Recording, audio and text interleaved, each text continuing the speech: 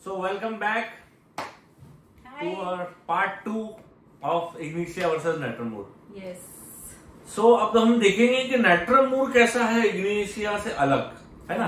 नेट्रमूर का हाउ क्या रहेगा? हम एलिमेंट्स तो देख चुके हैं दोनों के कॉमन और इसके एलिमेंट क्या अलग है? इग्निशिया से वो भी देखेंगे। इग्निशिया कितनी माइल्ड थी हम्म। नहीं बोलने वाली थी हम्म। अपना ओपिनियन और नाइट्रोम्यूर कैसी है? हम्म, नाइट्रोम्यूर एब्रप्ट है और एब्रप्ट रफ येट अफेक्शनेट है. नाइट्रोम्यूर ठीक है? अब्यूज चिल्ड्रन बच्चे अब्यूजिव है। है ना? अफेक्ट कैसा होता है नेटमूर को? Elements from being abused after being in marriage मतलब एक बार किसी से बंधने के बाद अगर उसे अब्यूज किया जाए तो उसे हम्म। एलिमेंट्स आना चालू हो जाते हैं। Elements from disappointment old Ignatia new था। ये ओल्ड है. और साथ में हाँ, ज्वाइन होएगा ग्रीफ डीप ग्रीफ हाँ, old grief old grief elements from being quarreling with one's father अच्छा elements from quarreling with one's mother में दोनों थे but elements from quarreling with one's father में नाइट्रोम्यूर भी है. नाइट्रोम्यूर है. हाँ. इग्निशिया नहीं है. तो यहाँ उसे डोमिनेशन होता है फादर Father से से। नेट्रमूर को। इसीलिए नेट्रमूर थोड़ी डेवलप होती है। हम्म, क्यों मैं बताऊँगा आपको? फादर से कैसा डोमिनेशन होता है और कैसा नेट्रमूर बनती है हाँ। है ना? डोमिनेशन आता है और उसे बहुत रिस्ट्रिक्ट किया जाता है। इसीलिए लिबर्टिनिज्म में है नेट्रमूर ओके एक मेरा केस आपको बताता हूँ उसके थ्रू पूरी नेट्रमूर आपको समझ जाएगी। एक एक नाइट्रोम्यूर का बेसिक समझिए एन ए सी एल है यानी नमक सॉल्ट तो इसके टू पोल्स होते हैं। एक बोलते हैं ना कॉइन के दो। सिक्के के दो पहलू होते हैं वैसे ही नाइट्रोम्यूर होता है। नमक अगर कम भी हो गया तो खाना बेस्वाद लगता है और अगर ज़्यादा भी हो गया तो हम खाना वो खा नहीं पाते हैं। Yes. तो ऐसा नाइट्रोम्यूर होता है। नेट्रोमूर जो होता है ना डिग्निफाइड पर्सनालिटी वो कहीं भी अपने प्रेजेंटेशन में कचरा नहीं करता। वो भले ही दिखने में खराब हो पर अपने आप को रखता ऐसा है जिससे उसकी कहीं भी वैल्यू कम ना हो। है ना? फियर ऑफ़ बीइंग बिट्रेड में है और फियर ऑफ़ बीइंग हर्ट में है। फियर ऑफ़ पिंस में है। तो उसे उंगली नहीं उठाने। हाँ। किसी ने उंगली उठाई। उंगली नहीं उठाना चाहिए उसको किसी ने बोलना नहीं चाहिए उसका उसे डर है। क्योंकि तो- ऑनर वुंड का डर है ना उसे यस है ना? तो नेट्रमूर अपने आप को हमेशा परफेक्ट रखेगा। सिटिंग डिग्निफाइड डिग्निफाइड रहेंगे एक्सक्लूसिव रहेगा। ठीक है? एक्सक्लूसिव वो अपने आप को रखता है। डिग्निफाइड खुद अपने आप को बनाता है। है ना we say Platina is born exclusive. But natrum mur is made exclusive ये ना खुद को. अपने आप को एक्सक्लूसिव बनाता है अपने अंदर का wretchedness छुपाने के लिए Yes. अपने आप को प्रेजेंटेशन प्रेजेंट ऐसे करेगा कि वो एक्सक्लूसिव रूब्रिक में जाता है वो Yes. तो वीकनेस क्या है नेट्रमूर की नेट्रमूर की वीकनेस है कि फियर ऑफ़ बीइंग पिटेड और delusion pitied on account of his misfortune and he wept hmm, okay मतलब उसे हमेशा ये डर लगा रहता है कि मेरे पे कोई दया ना करे। Yes. ओके तो इस हिसाब से वो अपने आप को सब लोगों के सामने रखता है। हम्म, है ना? इसीलिए नेट्रम मूर मेरे पे कोई दया ना दिखाए। हाँ। और फिर अगर किसी ने दिखा दिया दया तो उसको रोना आ जाएगा। Illusion he is pitied on account of his misfortune fortune and he wept yes ठीक है? है ना? और नेट्रमूर जो होता है वो एब्रप्ट होता है। उसको किसी ने खराब बोला तो उसने आंसर देना ही देना मुँह तोड़ जवाब। मुँह तोड़ जवाब देता ही देता है कम बोलेगी लेकिन जो बोलेगी वो हाँ। एकदम पॉइंट टू हमने ये देखा है कि वो answering origin to answer when hurt emotionally में भी है और दूसरा उसका फैसेट है कि वो आंसर दे देता है एब्रप्ट हम्म, है ना? तो एब्रप्ट कब होता है? वो गुस्से में जब होता है जब उसके साथ कुछ गलत होता है इनजस्टिस के नॉट सपोर्ट में है है ना? तो एक केस मैं आपको बताने जा रहा हूँ नाइट्रम मूड का रूमेटॉइड आर्थराइटिस की केस है एक लड़की की। उसकी एज होंगी hardly twenty three years hmm, ठीक है? तो मैंने उसको पूछा कि भाई देखो इतने कम एज में इतनी तकलीफ़ कैसे हो गई? तो उसके आँखें भर आई और और आँसू बाहर नहीं आए उसके। तो कंट्रोल पूछा- का बहुत टिपिकल है ना आँखें भर आएँगी लेकिन आँसू बाहर नहीं आएँगे। हाँ नए लोगों के सामने इतना जल्दी से नहीं बता नहीं बोलते रहते। तो ये केस में मैं पूछा तुझे किससे प्रॉब्लम है? क्या इशू है तेरी लाइफ में? क्या? है तो उसने बताया कि सर बोले बीइंग अ गर्ल चाइल्ड हमेशा मुझे ये दिमाग में रहता था कि मेरी शादी करा दी जाएँगी जैसे ही मेरी पढ़ाई खत्म होती है। या अठारह साल में मेरी शादी करा दी जाएगी ऐसा मेरे माँ बाप बोल देते थे जब भी मैं उनको कुछ बोलूँ कि मुझे ये करना है या वो करना है। तो थ्रू आउट कॉलेज लाइफ में उसे कहीं भी जाने नहीं मिला, ना कॉलेज लाइफ एंजॉय करने मिला, जैसे ही पाँच बजते थे शाम के, उसे घर आना पड़ता था। तुरंत, एक घंटा भी ऊपर अगर वो करी तो उसके फादर से उसे डांट पड़ती थी, जिससे उसे बहुत बुरा लगता था। वो, उसने मुझे कहा कि मेरे दोस्तों को मुझे मालूम था कि इसको तो कुछ बोल के मतलब ही नहीं है कहीं ले जाने के लिए क्योंकि ये इसे एक घंटे का टाइम मिलता है उसमें तो उसका आना जाना हो जाता है। ठीक है? तो वो बोलते इसको बोल के मतलब ही नहीं है इसके यहाँ तो परमिशन नहीं मिलती थी। तो ये कभी हाँ बोलते ही नहीं थी इसको शर्म आती थी। उसको ऐसा लगता था कि अब मेरे को ऐसा इन लोग ये बोलेंगे और खराब लगेगा मुझे फिर। हम्म, तो वो हमेशा नहीं बोलती थी और उसके दोस्त लोग उसको पूछना भी बंद कर दिए थे। ठीक है? ये उसे ऐसा रिस्ट्रिक्शन था। और इसके लिए वो लड़ती थी अपने फादर से और आधा आधा घंटा बढ़ाती गई वो। ठीक है? फिर भी उसे ये सुनने कई बार मिला।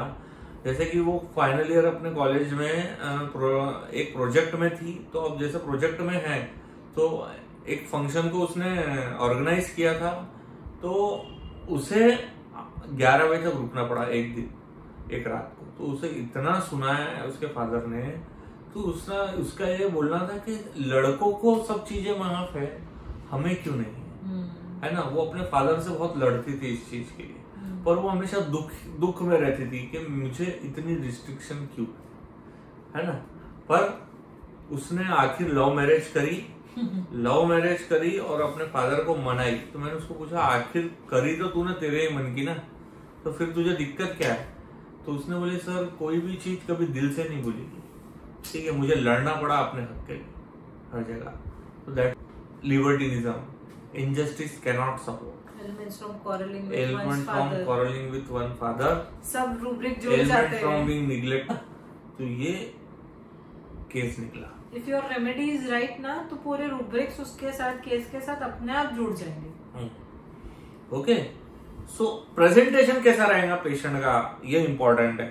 ओके तो जब नेट्रम मूड आपके पास आएगा ना तो एक मेरा नेट्रम मूड पेशेंट मैं आपको बता दूँ मैंने वहीं से समझ लिया था कि ये नेट्रम मूड है okay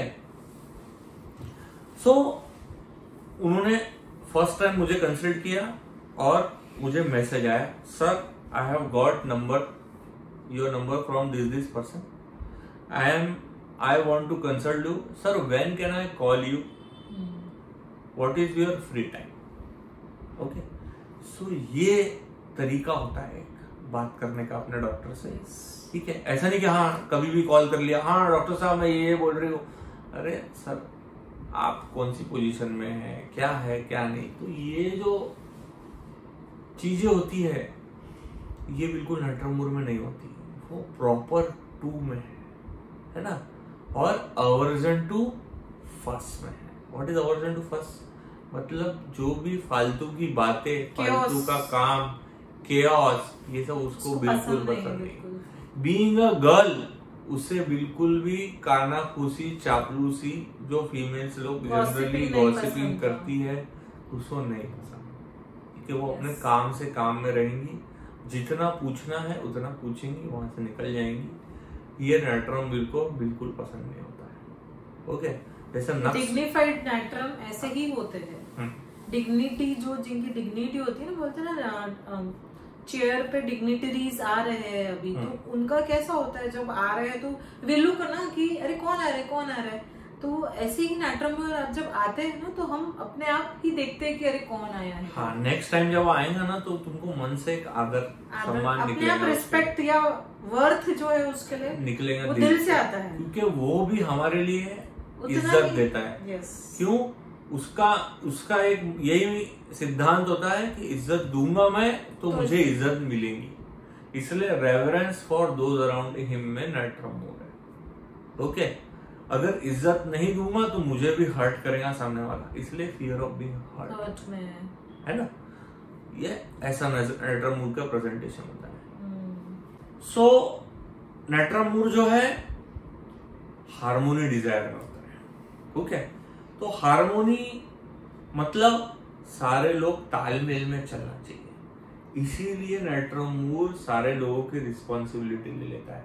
Responsibility taking too seriously seriously. And duty too much sense of duty love for family love for family अपने परिवार को साथ में लेके चलेगा। है ना?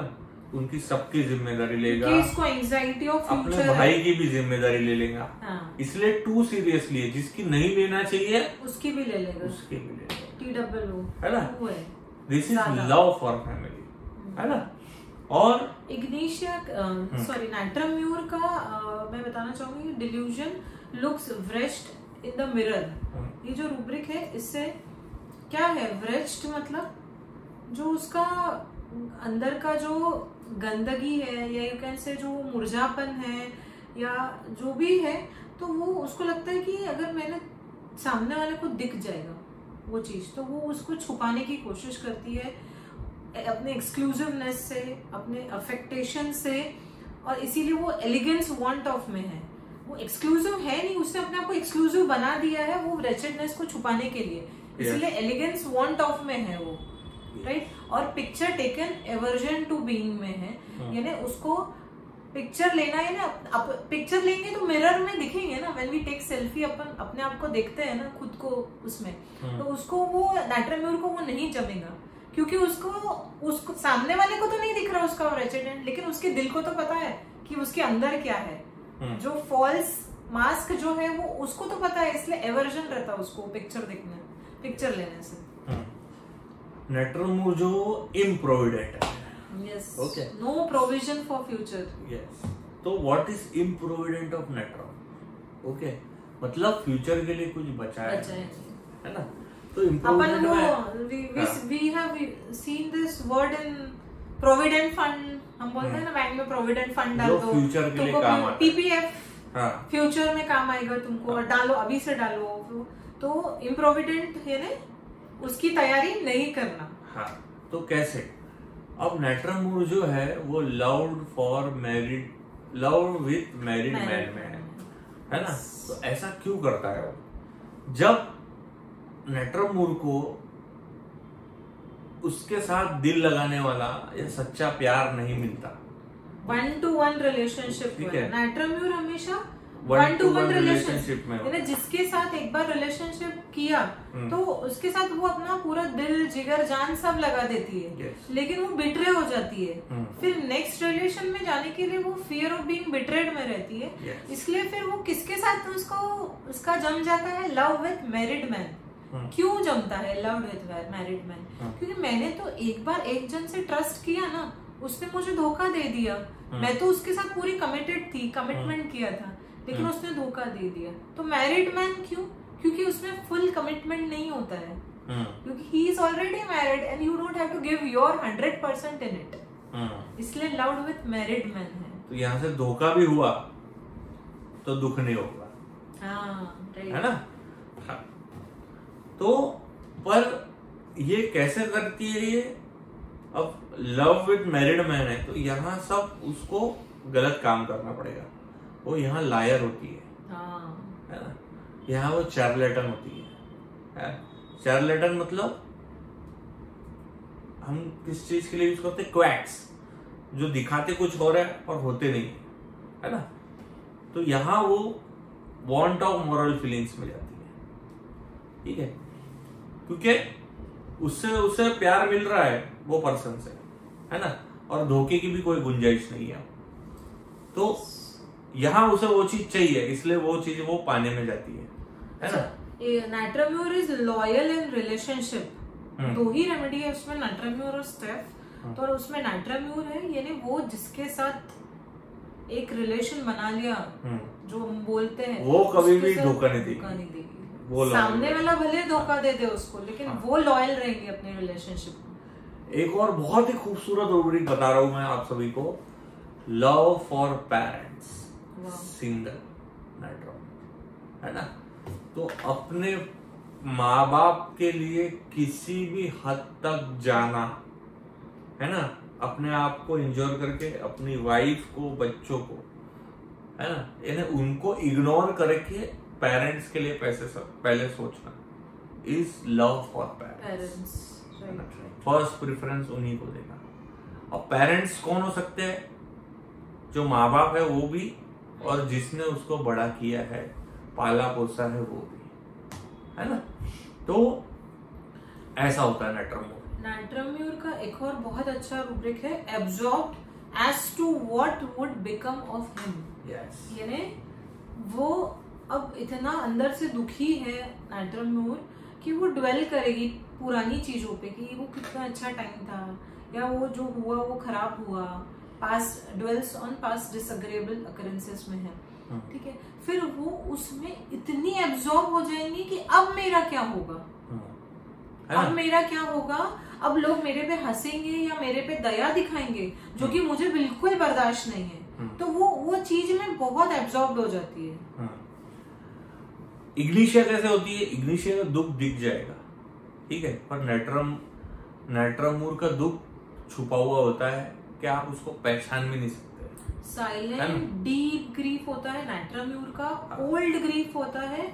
आप मतलब सालों साल पुराना ग्रीफ है कि आप अगर एक केस था जैसे उससे बात कर रही है तो वो सडनली जैसे मैंने पूछा कि आपके फादर नहीं है घर पे? तो शी स्टार्टेड वीपिंग मैंने पूछा आप क्यों रो रहे हो? तो मुझे लगा शायद उसके पिताजी अभी अभी एक्सपायर हुए होंगे। कोविड का टाइम है तो कुछ ऐसा कुछ हुआ होगा? बट शी सेड नहीं उनको तो ट्वेंटी इयर्स हो गए. बोली है? तो नाइट्राम्यूर का ग्रीफ इतना ओल्ड होता है हम्म। कि 20 साल पुराना भी ग्रीफ अब आज अपने को लगेगा कि यार यस कितना मतलब ऐसा अभी अभी हुआ है ऐसा लगेगा। इतना ओल्ड ग्रीफ होता है नाइट्राम्यूर का इग्निशिया का तो रिसेंट रिसेंट आपको मिल जाएगा। Yes Okay. Differentiate I will take differentiating rubrics दोनों के सिमिलर क्लोज कमिंग रूब्रिक्स दोनों को एक दूसरे से डिफरेंशिएट करते हैं। इग्निशिया जो है वो एम्बिशियस बिल्कुल नहीं है। और नाइट्राम्यूर जो है वो ambition increase competitive for right और इग्निशिया इग्निशिया इग्निशिया में नो फ्यूचर रूब्रिक्स यस है ना? And natrum mur is in anxiety future about grief for the future and absorb as if what would become of him ये भी future से related ही हुआ ना? Despair about future भी है। हाँ। इग्निशिया का फियर क्या है? फियर ऑफ़ इनवेलिडिटी नाइट्रोमूर का फियर है फियर ऑफ़ बीइंग पिटी कोई मेरे पे दया ना करे। है ना? इग्निशिया काय में है? आइडियलिस्टिक में। और Dignified. डिग्निफाइड ओके ठीक है। और इग्निशिया जो है वो मॉरल्स वाली है। सेंसिटिव टू मॉरल इंप्रेशंस में है हाँ। और नाइट्राम्यूर जो है वो मॉरल फीलिंग वांट ऑफ़ में में चले जाती है। चले जाती है लेटर स्टेज में। इग्निशिया कभी नहीं जाती। कभी नहीं जाती। है ना? और आप नाइट्राम्यूर को मनाने जाओगे गुस्से के टाइम या जब वो सैडनेस में या हाँ। ग्रीफ में है तो गुस्सा हो जाएगी। और गुस्सा आ जाता है। एंगर कंसोल्ड वेन है। हाँ। ठीक है? और कंसोलेशन एग्रवेशन सिंपथी एग्रवेशन है। इग्निशिया जो है वो अलर्ट होती है काफ़ी है ना? क्विक टू एक्ट में फास्ट काम करेगी। Natrum mur is in self control increase वो सब चीज़ कंट्रोल करके रखती है। है ना? एक्सक्लूसिव एक्सक्लूसिव टू इग्निशिया जो है ब्रूडिंग ओवर इमेजिनरी ग्रीफ है। अरे जो कुछ हुआ नहीं है कभी उसके बारे में वो ग्रीफ वो ग्रीफ के बारे में ब्रूड करेगी। और नाइट्राम्यूर क्या है? Absorb as to what would become of him में है। ठीक है? और सेंसिटिव टू क्रिटिसिज्म में है। नाइट्राम्यूर का एक बहुत अच्छा रूब्रिक है शेमलेस इन बैड ठीक है? Shameless in bed bed is what when you are in a comfortable position या एक कंफर्ट जोन होता है आप जब बेड पे होते हो तो नेट्रम्यूर सबके साथ नहीं खुलेगी। नेट्रम्यूर को अगर कुछ अगर उसको बेड मिलता है यानी अगर उसको सामने वाला बंदा इतना कंफर्टेबल मिलता है तो वो उसके साथ शेमलेस हो जाएगी मतलब वो अपने लाइफ का सब कुछ, जो बैड गुड जो भी हुआ है, जो नहीं बताना चाहिए किसी को, वो भी वो उसको बता देगी। That is shameless in bed of natrum mur right last end करेंगे हम एक इग्निश है सॉरी नेट्रमूर के बहुत अच्छे केस से। ओके मतलब वो लेडी मेरे पास आई जो भी प्रॉब्लम्स के लिए, उसको नेक पेन था आई थिंक सो यस हाँ नेक पेन था उसको तो मैंने उसको पूछा, आपकी लाइफ की क्या प्रॉब्लम है? सर बोले, मैं अकेले मैनेज करके थक गई मेरे हस्बैंड मेरे लाइफ में सब चीज़ें अच्छा है। ये वही वही लेडी थी जिसने मुझे मैसेज किया था और पूछा कि मैं कब आ सकती हूँ। ठीक है, और प्रॉपर टाइम लेकर, वही टाइम पे ऑन टाइम पहुँचना। ठीक है? This is aversion to first बिल्कुल भी लापरवाही नहीं। जब हम्म। बोला उसने तब वो पहुँची। और पहुँच के अपने बे, बेटे के बारे में भी कंप्लेंट बताई। पूरा घर वो ही देखती है मैनेज करती है। वो काम भी करती है और जॉब पे भी सिंसियरली जाती है। सब बहुत अच्छी तरह से करती है। उसका इशू क्या है लाइफ में? हस्बैंड सर बोले मैं सिर्फ़ इन्हीं से परेशान हूँ। वो डिक्टेटोरियल भी है। है ना? ये हमारी बात सुनते नहीं है कोई भी चीज़ लाइफ में प्रॉपरली नहीं करते ठीक है? कोई चीज़ बचा के नहीं रखे है फ्यूचर हम्म। के लिए ना पैसा बचाते हैं तो मेरा आगे कैसा होगा? हम्म। है ना? सब मुझे ही करना पड़ता है। मेरे काम से मुझे पैसे निकालने होते हैं मेरे बैंक से मुझे पैसे निकालने होते हैं। इनकी कमाई कम होगी ये ये इस चीज़ पे ध्यान ही नहीं देते है ना? तो ये रिस्पॉन्सिबिलिटी टेकिंग टू सीरियसली और proper to duty too much sense of duty है ना? अवर्जन टू फास्ट ये सबसे उसको मैंने नाटक बोल दिया और वो बेहतरीन तरीके से उसका नेक पेन एक ही बार में कमा ठीक है? एक बहुत अच्छे दो तीन प्रिस्क्राइबिंग रूप से नाट्रम्यूर के हाँ। आप बहुत यूज़ कर सकते हो उसको। जैसे कि है लाइट डिज़ायर हाँ। और objective reasonable natrum mur is objective reasonable यानी अगर नाइट्राम्यूर आपके क्लिनिक में सामने बैठी है तो आपको उसकी बात पटेंगे यू विल से हाँ right you are right right this is objective reasonable आपको उसकी बात पटेंगी और आप आप चाह नहीं चाह के भी उसको नाइट्राम्यूर दोगे। यानी वो ऐसी वो चीज़ बोलेंगी या वो ऐसी कंप्लेंट करेंगी कि आपको लगे हाँ यार ये अपनी साइड में बिल्कुल सही है। उसका जो ऑब्जेक्टिव रहता है वो एकदम हमें रीजनेबल लगेगा। परफेक्ट है ना? कि उसने जो रीजन दिया है वो परफेक्ट है। हाँ यार अगर मैं ये ऐसा ऐसा करती थी तो उसके साथ ये चीज़ नहीं होता। उसका आईपीआर अगर इसके साथ ऐसा नहीं करता तो इसे ये तकलीफ़ नहीं होती या हमें भी तकलीफ़ नहीं होती। या वो जो बोल रही है वो एकदम परफेक्ट है। This is objective reasonable of और natrum mur is a great perceiver यानी परसिवरेंस रूब्रिक में है क्योंकि वो एम्बिशन इंक्रीज कॉम्पिटेटिव फॉर्म में है तो वो कभी हार नहीं मानती है। ठीक है? वो अपने गोल को अपने एम्बिशन को परसीव करती रहती है जब तक वो अचीव नहीं करती वो चीज़ को yes. है ना? इसीलिए वो परसिवरेंस में है। और इसी कारण से उन्हें उनके दिमाग में ये हमेशा होता है गर्ल्स में भी बेसिकली कि हमें इंडिपेंडेंट रहना है क्योंकि उनको इंडिपेंडेंस मिलता नहीं है ना? और वो है लिबर्टिनिज्म में हम्म। तो हमेशा उन्हें काम करना और इंडिपेंडेंस की तरफ़ में रहती है कि मैं जॉब करूँ मेरा पैसा मैं कमाऊं मुझे किसी से मांगने की ज़रूरत ना पड़े है ना? तो इस कारण से मैक्सिमम नेट्रमूड लेडीज़ को पीसीओडी मिलता है हाँ, क्योंकि वो मैनिश हो जाती है मैनिश हाँ। गर्ल्स में हाँ। है ना? और उनको ऐसा लगता है कि मैं हमेशा इंडिपेंडेंट रहूँ मुझे किसी से बनने की ज़रूरत नहीं है मैं सक्षम हूँ ओके और ठीक है। एक और रूब्रिक है ना एंटरप्रेन्योर का looked at can not bear to be looked at यानी वो it is related to that rubric picture aversion to take picture ठीक है, उससे वो रिलेटेड है से कि मेरे तरफ़ कोई ना देखे। मैं बेयर नहीं कर सकती कि मेरे तरफ़ कोई देखे। ठीक है, और एक रूब्रिक है बार्किंग इनसेंस सर, आप निकालिए एक मिनट। रेपर्टरी में barking incense barking in the car I think ऐसे ही है। तो नाटाम्योर जो है ना, जो अपने अंदर जो उसके अंदर वॉल्केनो है, वो किसी के भी सामने ऐसा नहीं खोलेगी। आई सेड यू कि वो शेमलेस एंड बेड है।